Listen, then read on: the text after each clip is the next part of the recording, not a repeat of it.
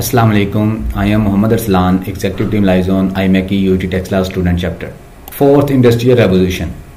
It's been a hot topic among academics, politicians, and the business leaders ever since. Then, what does it mean? The term Fourth Industrial Revolution was coined by the founder of the World Economic Forum and former professor Klaus Schwab. Klaus Schwab also wrote a book on this title of Fourth Industrial Revolution to make an era of technical revolution that is blurring the lines between physical, digital, and biological spheres.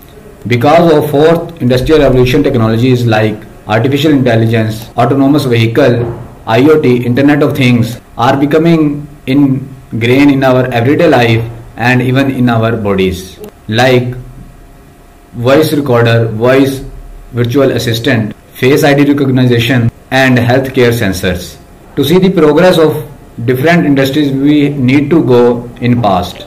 Number 1 first industrial revolution. Around 1716 and it is powered by a major contribution by the invention of steam engine.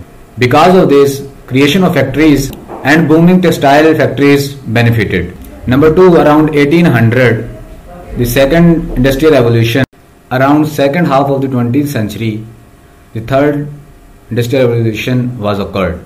And in some decades, we have seen many inventions like personal computers and internet. Now, what differentiate fourth industrial revolution from third industrial revolution? Basically, the main difference is that technology is emerging more and more, and also its use in human bodies because technology is changing, changing happening, happening, happening faster than ever for example, landline telephone took 75 years to get 100 million users and Insta signed up 100 million users in 2 years and Pokemon Go in just 1 month. And 3D printing is just an just one example of fourth industrial revolution of modern technologies. The industry has gone idea to to a big business. In simple words, industries are using modern technologies to make their business more efficient. That's all from my side. Thank you so much.